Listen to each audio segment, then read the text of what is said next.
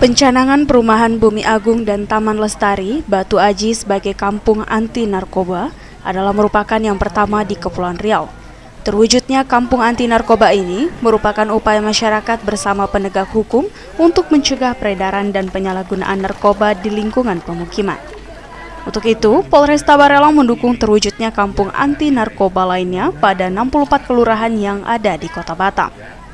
Kapolresta Barelang, Kombes Pol Hengki mengatakan, Terwujudnya kampung anti narkoba merupakan pernyataan sikap dan keinginan bersama untuk memerangi narkoba.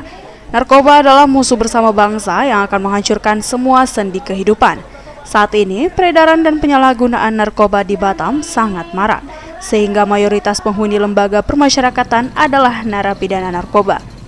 Ini pernyataan sikap, kehendak, keinginan, ya khususnya yang diawali pada perdana ini yaitu peresmian Kampung Anti Narkoba yang diinisiasi oleh UPK, Kecamatan Batu Haji, ada Pak Kapolsek, ada Camat, ada Dan Ramil, ada dari pemerintah Kota Batam, dan termasuk dari BNN Kota Batam, TNI Polri, kita berseluruh masyarakat yang ada khususnya sekarang di Kecamatan Kibing ini, Kelurahan Kibing ini adalah pernyataan sikap, keinginan, niat yang baik bahwa narkoba itu adalah musuh bangsa.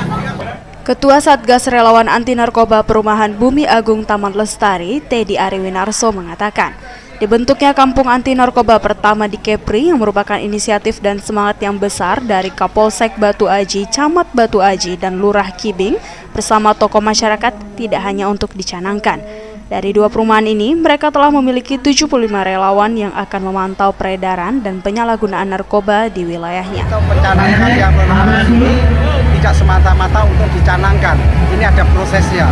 Jadi untuk sosialisasi kita sudah, untuk pembekalan dari BNN pun dari Kapolres sudah dilaksanakan untuk relawan-relawannya. Cek urin acak untuk warga kita pun sudah kita laksanakan tahap-tahapannya kita di Taman Lestari dan Bumi Agung ini. Jika 64 kampung anti narkoba di Batam bisa terbentuk, maka Batam secara langsung akan menjadi kota anti narkoba. Polresta Barelang dan BNN Kota Batam akan berkoordinasi dengan Pemko Batam serta tokoh-tokoh masyarakat untuk mewujudkan terbentuknya 64 kampung anti narkoba. Dari Batam, Kepulauan Riau, Andri Sofian melaporkan.